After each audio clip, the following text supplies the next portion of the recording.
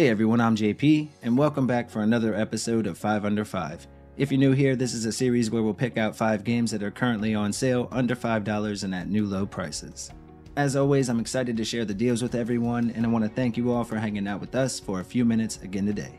If you missed any of our last episodes, I'll have links down below where you can find even more great deals. Alright, folks, and with all that said, let's go ahead and get started. Stay safe out there, and please enjoy the video. Alright, we'll start today with Monster Destroyer, which is very much like Vampire Survivors if you've ever played that game. And basically, your character starts off with a weak beginner weapon, and you just run around taking out enemies and collecting orbs to power up and gain new abilities. Now, these types of games are very addictive, and they will hook you in with that one more run type of feeling. With this one, you have unlockable characters and upgrades and local co op for two people as well. It really is a lot of fun, and right now it's on sale for just 356, which is a new low until the 24th.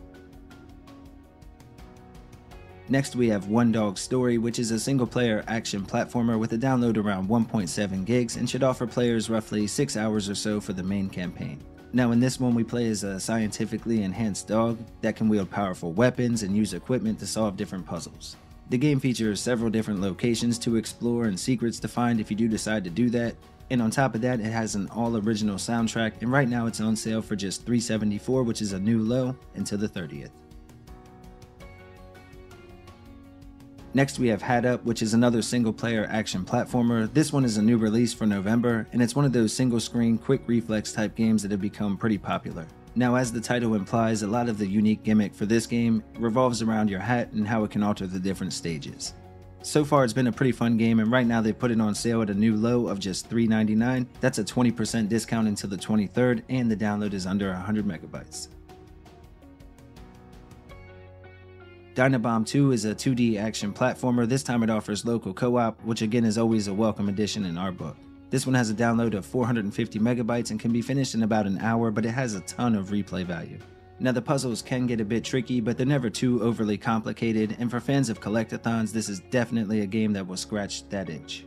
It has 8 different worlds and some secret levels to unlock as well, and right now it's on sale for just 449, marked down 70% to a new low until the 21st.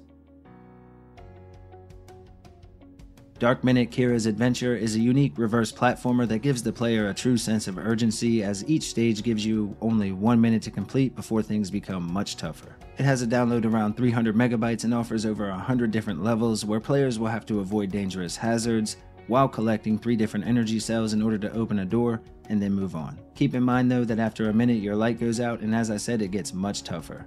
If you're interested in this one, right now it's on sale for just $4.99, half price and a new low until the 19th. Alright everybody, thank you all so much for watching. We really do appreciate it. If you enjoyed the video or you like the Switch, we have plenty more content on the channel. Feel free to check it out. That's all for today's list. We hope you liked the video. If you did, consider subscribing and liking down below. Okay, bye!